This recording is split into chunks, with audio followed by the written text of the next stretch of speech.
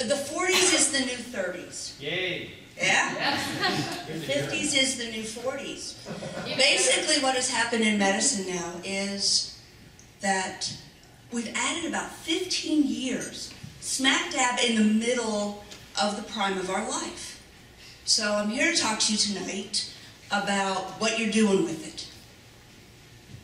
Are you, sorry, I was running around on my breath. Um, are you kind of just growing old and not thinking and letting life kind of mindlessly catch you up, pass you by? Or are you really grabbing onto it and saying, you know what? I love my youth, I love my strength, I love my vitality, I'm going to keep a hold of it.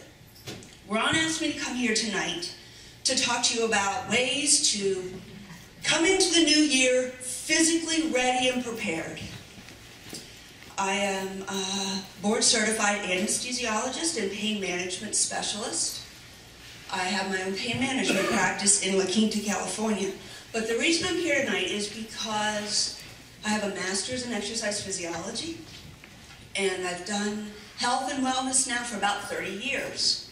Uh, long before I ever wanted to be a doctor, I was a dancer in New York City and uh, injured my back. And I think that probably led me into pain. But starting as a dancer, obviously I was aware of how I moved and health and even the weirdo macrobiotic diets that we used to do back then.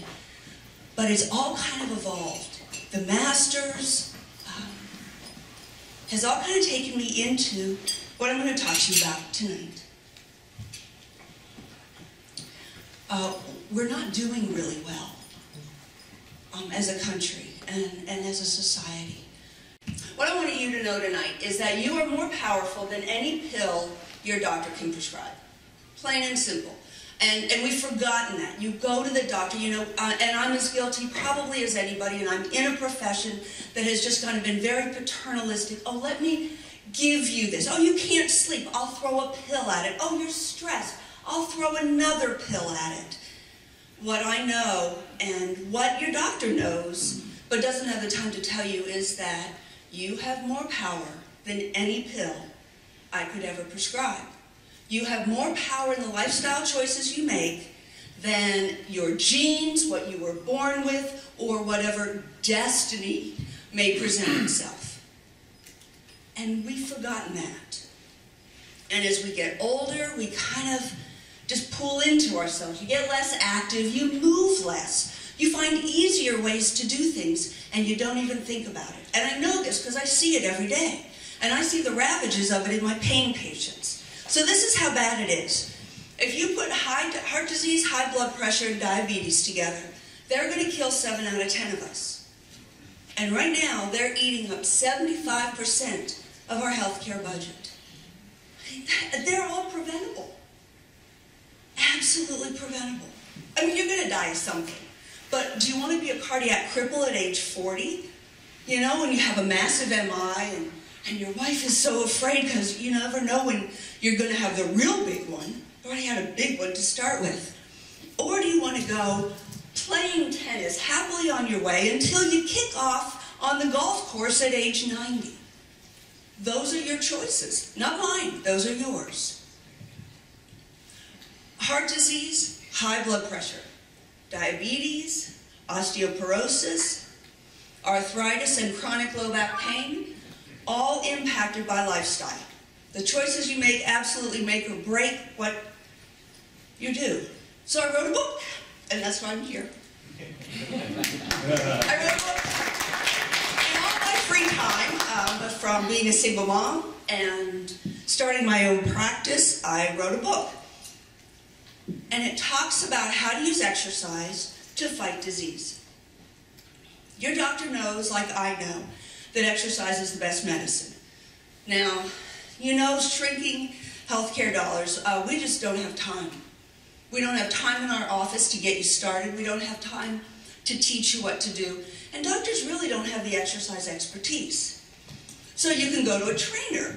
And trainers are very nice at putting a pin in a machine. They know the mechanics of exercise.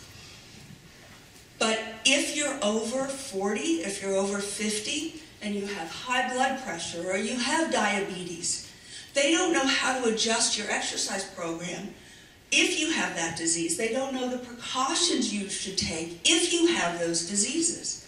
They don't have the medical background to help you be safe.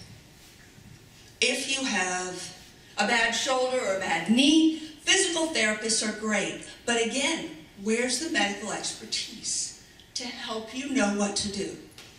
So that's why I wrote the book. It's kind of an introduction, and then chapter by chapter addresses these six major diseases. If you have high blood pressure, you need to exercise very differently than if you're trying to work on an arthritic knee or a bad shoulder. Totally different.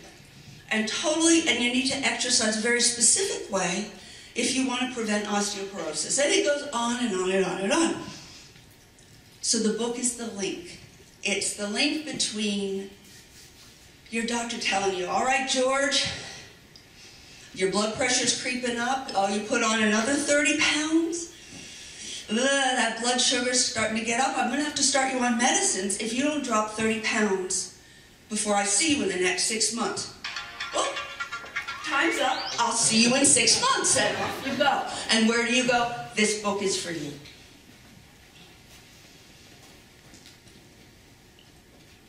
You know, I knew exercise, right? I mean, I was a master's in exercise physiology. I ran a cardiac rehab program, right? I, I used exercise to treat heart disease and, and help people recover from open heart surgery.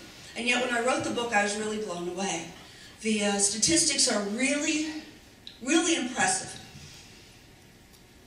First off, if you've turned 50, you've got a 90% chance right now of having high blood pressure which means you turn 50, you got a 90% chance of being on meds for the rest of your life. okay? There's about 23 million diabetics. Another 57 million are pre-diabetic or taking time bombs, which means they're all going on meds too.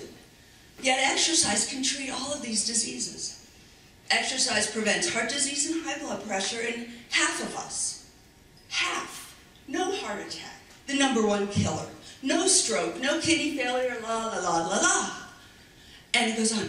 But if you have high blood pressure and you get on the right exercise program, 75% of you can get off meds. Absolutely I promise. I'm hurrying, I promise. I promise. No, it's a long day. It's okay. It's a long day for me too. Um, so 75% of you can be cured with the right exercise program. I can't say that with a pill.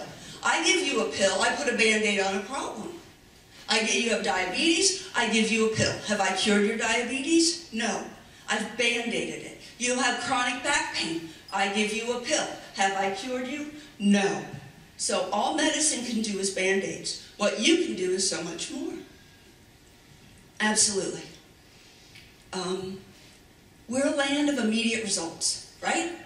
I want it now. Patients come into the office. Well, I've been in pain for 30 years, but today I want a cure. I'm like, thank you very much. I will, I will help you for sure. After your very first exercise session, you drop your blood pressure to normal levels with the very first exercise session. That blood pressure lowering effect stays there for 22 hours. You start on the right program, you're off your meds add in the stress reduction, add in the weight loss, and you're cured. Now, maybe you like to drop hundreds of dollars a month on meds, but I'd rather buy a Prada purse myself. Diabetes if you, is the same way, cured with exercise and weight loss. You have to drop the fat if you're type 2 diabetic. But, you know, the, I, I, love, I love the politicians, but one soapbox, one quick soapbox, you know, they want to cut doctors' fees, they want to cut everything else, but where's the onus on us? This is treatable stuff, guys, and it's not that big a deal. I promise you. Yeah, rah, rah, weight loss, I know, exercise, oh my God, not another guru. But I'm a single mom, I run my own business, I'm actually two now with the book, and I don't exercise a whole lot. Ah, there's no way. There's just no way. I was going to talk to you guys tonight and get up in the morning. Haven't done that for two years, but I thought, well, tomorrow morning I'll be motivated. Yeah, no luck. No luck. So there's other things, and this works for you guys. This is really why I'm here.